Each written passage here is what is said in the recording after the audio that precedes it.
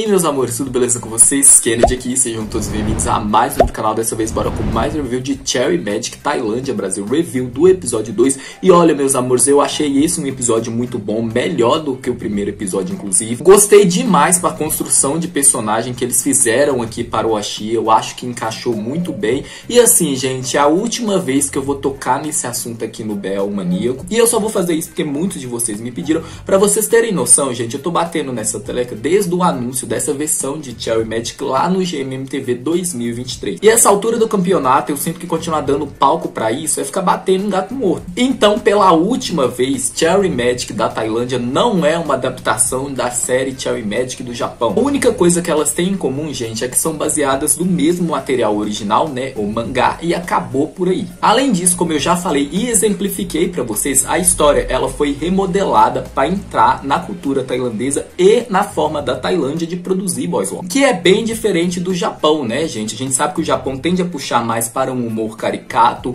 um humor exagerado, um humor cartunesco, e nenhum nem outro é ruim, gente, é só que são diferentes. São jeitos diferentes de se adaptar a uma mesma história. Tá claro que a versão da Tailândia ela puxa para algo mais real, mais maduro, enquanto que do Japão é focado naquela comédia esfuziante, né? É só vocês lembrarem aí daqueles E do Haddad e tá tudo bem, gente, foi feito para ser assim. Então, enquanto que no Japão, por essa ser a proposta deles, a gente tem aquelas reações exageradas, aquele humor borbulhante. Isso não é característica da mídia tailandesa, principalmente da GMMTV, em especial do PX Brasil, porque o PX é um diretor que gosta de drama, gente, que sempre trabalha com algo mais dramático. Tanto o Tai quanto o Neil estão muito bem encaixados nos seus papéis, os dois estão atuando muito bem. O Ashi não é uma cópia do Haddad, não é para ter um comportamento muito infantilizado, não é para ser muito inocente, não é para ser muito ingênuo ou que ninguém nota ele. O personagem não tá sendo construído para ser assim, não sei porque estão falando abobrinha de que o Neil é muito bonito e muito musculoso e muito velho para ser um Haddad. Pessoal, isso não faz sentido. Sendo que desde o começo o PX não tem essa pretensão, o Neil não está tentando ser um Haddad, gente, esse nem é o trabalho dele. Ele está sendo pago para ser o Ashi e isso ele está fazendo muito bem. O drama do Ashi é diferente do drama do Haddad em vários pontos. O Ashi não é para ser alguém que passa despercebido, que as pessoas acham desinteressante, e sim um virgem de 30 anos com zero experiência romântica,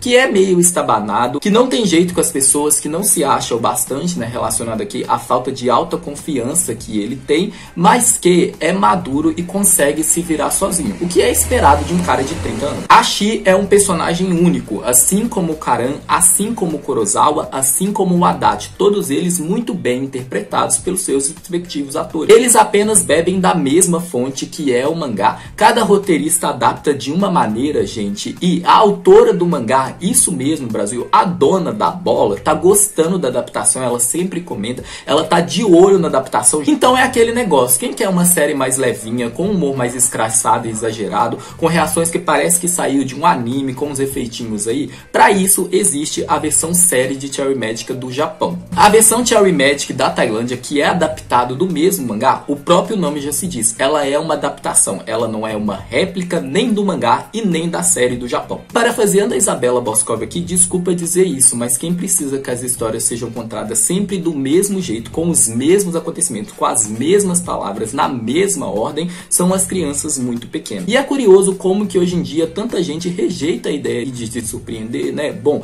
eu só posso imaginar que quem sai perdendo são essas pessoas. Bora falar tudo desse episódio incrível de Cherry Magic Tailândia agora. Então, vamos lá.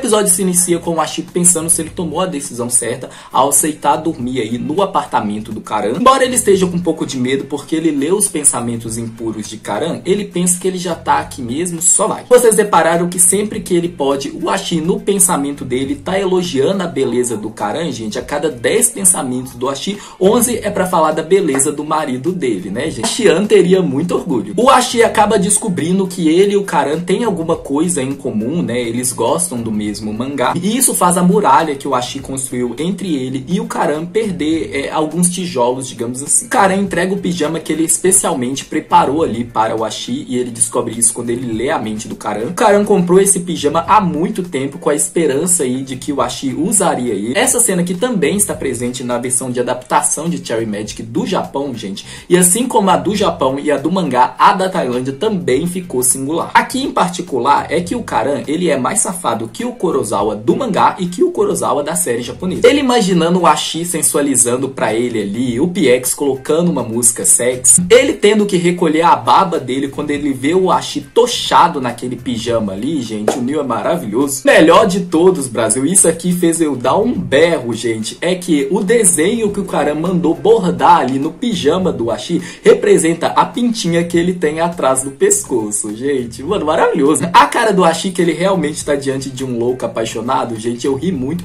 E eu ri ainda mais quando o Ashi decide usar sua arma mortal aí para parar de interagir com o Karan, porque ele tá muito tímido, né? E o que que é isso? É fingir estar dormindo. Quem nunca, né, Brasil? Quando eu tô dormindo, eu não vejo meus problemas, tudo numa boa. E aí o Karan acaba não conseguindo se segurar ou se deparar com o Ashi ali usando o pijama que ele comprou, dormindo tranquilamente no seu sofá. Ele se deparando com seu sonho virando uma realidade. Essa é uma visão que o Karan deseja ter pelo resto da vida dele, né? Ficar encarando aí a fofura imensurável do Ashi. O Karan acaba encostando ali no Ashi, o Ashi que está acordado lê os pensamentos do Karan e ele acha que o Karan irá roubar um beijo dele, né? Só que o Karan não faz isso, ele apenas desce o rosto ali, descendo a máscara de dormir do Ashi e também fala Fandina pra ele. E aí o PX coloca uma montagem que a gente vê que os dois estão com dificuldades para dormir. O Ashi, gente, porque ele tá muito tímido e ansioso, o coração dele tá um pouco diferente aí. Quanto ao Karan, Brasil, é porque o coração dele tá muito disparado, gente. Ele não tá conseguindo acalmar aí as batidas aceleradas do seu coração gado apaixonado. E aí o Karan faz café da manhã para eles ali, gente. E o Ashi, quando ele lê a mente do Karan, ele fica muito feliz de saber que o Karan praticou bastante aí até aprender a cozinhar a comida preferida do Ashi. Porque ele tinha a esperança de que um dia ele poderia fazer isso por ele. Aqui tem aquele momento clichê que a gente adora do Semi limpando ali a boquinha do Uki, né? A maneira como o Karan tava olhando para o Ashi e o Ashi olhando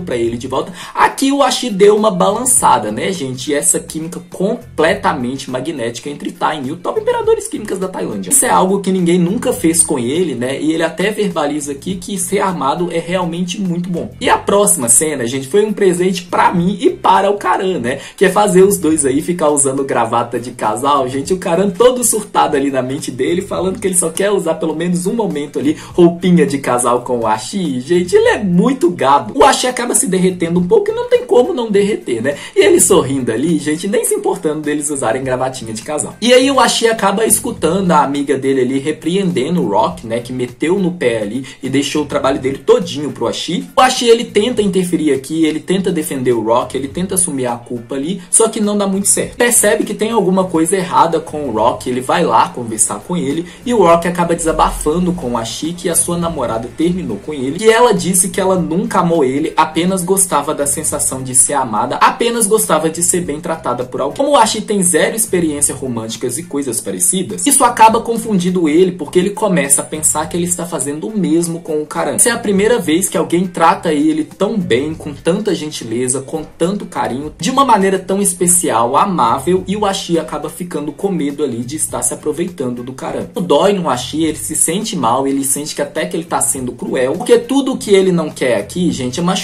uma pessoa que está sendo tão boa para ele. Mas ao mesmo tempo, ao pensar demais como ele sempre pensa, ele acaba ferindo essa pessoa. Tudo se agrava ainda mais porque o Ashi já sentiu isso na carne, né? Ele já esteve no lugar do Karan quando ele estava ali na universidade. Ou seja, ele também já foi usado da maneira que ele pensa que ele está usando o Karan. O negócio é complexo, gente, mas foi muito bem trabalhado, muito bem escrito nesse episódio, como esperado do PX, né, gente? Ele é um dos melhores diretores que a gente tem em cena. Por conta disso, o Ashi pensa que o melhor a se fazer para ele não machucar o Karan é ficar longe dele. E o Karan, como sempre, continua cuidando muito bem do Ashi, dando toda a atenção para ele, sempre se importando com ele, só que o plano do Ashi não dá muito certo, porque até ganhar voucher para jantar junto com o Karan, ele ganhou. O Karan tá super empolgado com o jantar, ele já tá até combinando o sorvete ali, já tá analisando para ver se o local tem boa avaliação. O Ashi lê os seus pensamentos e descobre o quão empolgado, o quão feliz o Karan está por ter a oportunidade de jantar com o Ashi.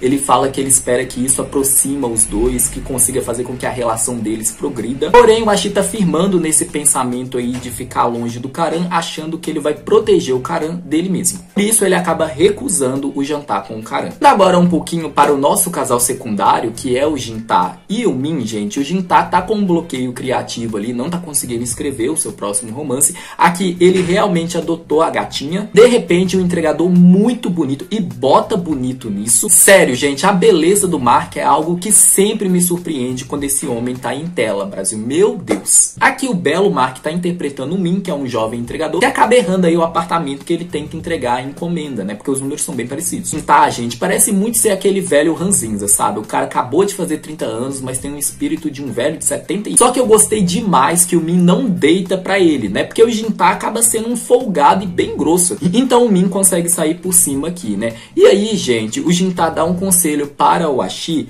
dele não se afastar tanto assim do Karan pra eles manterem uma relação de colegas, não muito próximo, não muito distante, para não dar falsas esperanças, mas também para não ser uma pessoa grossa. O Ashi pensa um pouco sobre isso, o Jinta acaba se ferrando porque ele pede uma comida mó estranha lá e o cara entrega essa comida para ele, gente, a cara que ele faz. O Ashi olhando para ele, é, agora você vai ter que comer, gente, muito bom, eu tô gostando demais dessa amizade. E eu gostei ainda mais desse momento que é muito fofo, gente. O Ashi é uma manteiga derretida, né? Ele dando o um presente ali para o Jinta, deixando claro que lembrou do aniversário dele, e escrevendo um bilhetinho tão bonitinho no post-it, gente, maravilhoso. O Jinta fica muito feliz aqui, né? E aí, ele fez aniversário, né? E ele é um virgem de 30 anos, logo ele amanhece como um mago, gente. Ele também ganha o poder de ler a mente das pessoas ao tocar nelas, e ele descobre isso por meio de ler a mente do Min, que foi entregar uma encomenda para ele. E o Min aqui tá sem paciência, ele pegou um pouco de ranço do Jinta aí por conta do encontro anterior, o que eu entendo, né, gente? O Jinta foi bem um velho ranzinza mesmo. Expressões do Mark aqui tava me matando, gente, completamente condizente com o tom de voz dele ecoando na cabeça do Jinta que tá lendo a mente dele. E o Jinta surtando ali, o Min falando que ele não tá fazendo nada, e depois pensando que esse velho, além de tudo, é maluco, e depois ele indo embora ali, gente, foi muito bom.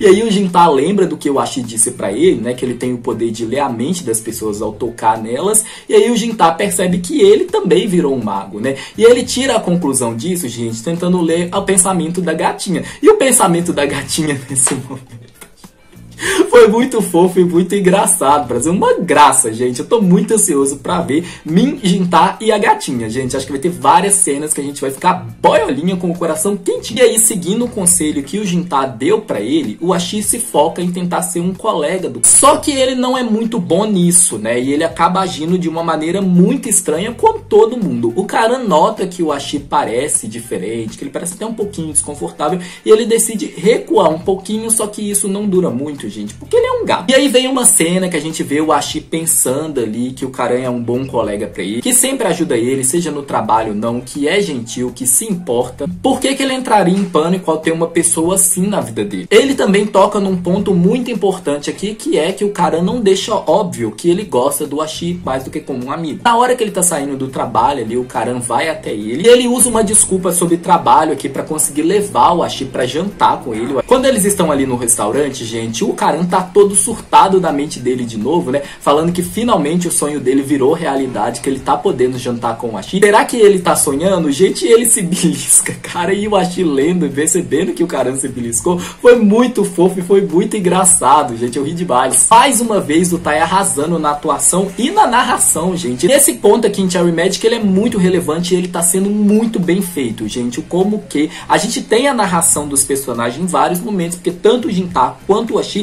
lê a mente dos personagens, né? Não sei vocês, Brasil, mas eu perdi tudo nessa cena. Eu tive que pausar o episódio porque eu não conseguia parar de rir e ficar com o coração quentinho, falando, ah, mano, o cara é muito fofo, velho. Acho só pega esse homem e vai, entendeu? O mundo do Karan todinho é o Ashi, gente, a gente adora dessa maneira. E aí o Ashi continua lendo a mente do Karan e descobre como que o amor do Karan por ele é muito puro. É muito verdadeiro, às vezes obsessivo e localmente, gente, sim, mas de um jeito saudável, tá? Notem que o Karan nunca impõe os sentimentos dele para o Ashi, ele sempre tá esperando o tempo do Ashi. Ele sempre tenta não deixar o Ashi desconfortável, ele sempre coloca o Ashi em primeiro lugar, ele sempre se preocupa com o Ashi. Karan e Mock, gente, de Last Twilight, pode dar as mãos, o amor deles são bem parecidos. É o tipo de amor que eles têm. Para esses dois gados, gente, é o bastante ver a pessoa que eles amam feliz, mesmo que eles estejam longe, mesmo que eles não estejam juntos. Para o Karan, mesmo que ele tenha que esconder o amor dele, só de ver o rosto do Ashi aí, só de fazer o Ashi sorrir um pouco, é o suficiente para ele. Só de estar do lado dele é o suficiente, mesmo que eles não estejam namorando. O Ashi então começa a se sentir culpado e egoísta por ter pensado demais, por achar que ele só tá se importando com os seus sentimentos, quando o Kukaran sempre coloca os sentimentos do Ashi na frente. Kukaran sempre trata ele muito bem, que o Ashi nunca fez nada por ele, que ele nem mesmo consegue ser um bom colega para o Karan. Ele acaba verbalizando isso, ele pede desculpas para o Karan, o Karan fica muito confuso porque ele não sabe que o Ashi consegue ler a mente dele. Esse momento aqui foi muito importante para a construção do Ashi. E aí, gente, o Karan e o Ashi acaba parando ali na festa da empresa deles, que tá acontecendo no andar de cima. Isso deixa o Karan muito triste e com raiva, e foi puro entretenimento pra gente, né, gente? Eu ri muito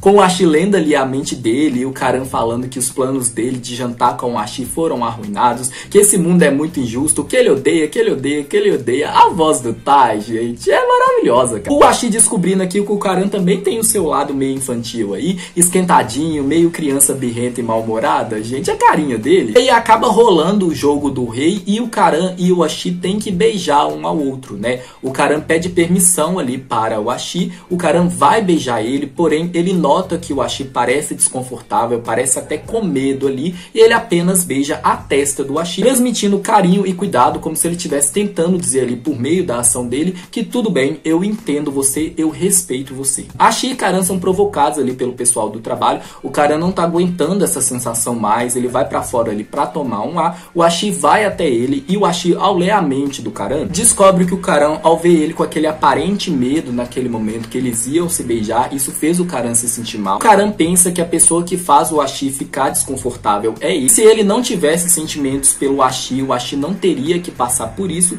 e ele pede desculpas, desculpas por se apaixonar pelo Ashi. Os olhinhos dele murchando aqui, gente, a expressão quebrada do Karan aqui acabou comigo e com o Ashi. Novamente, gente, Karan e Mok pode dar as mãos, dois gadinhos apaixonados. E aí o Ashi não aguenta ver o Karan dessa forma e acaba falando que não é que ele se sente mal em beijar o Karan, não é que ele se sente desconfortável em beijar o Karan, é só que ele é BV, né? Boca virgem, ele nunca beijou ninguém, então ele não sabia o que fazer. Ele fala exatamente as palavras que o Karan queria escutar, gente. O Karan rapidamente volta até ele, né, gado? Ele se cola ali no Ashi, ele vai aproximando o rosto dele lentamente, ele fala pro Ashi se ele entende o que ele acabou de dizer, e nisso, gente, ele tá preparado para beijar o Ashi, né? E o Ashi tá bem ansioso aqui, ao mesmo tempo que ele quer esse beijo, gente, ele tá muito nervoso, porque, né, ele nunca beijou. Só que aqui eu sinto que ele fica um pouco mais confortável só de não ter plateia ali. E outra coisa que deixa ele ansioso e até um pouquinho nervoso aqui, é que ele não sabe como reagir se o Karan beijar ele ou não. Só que para mim não resta dúvida.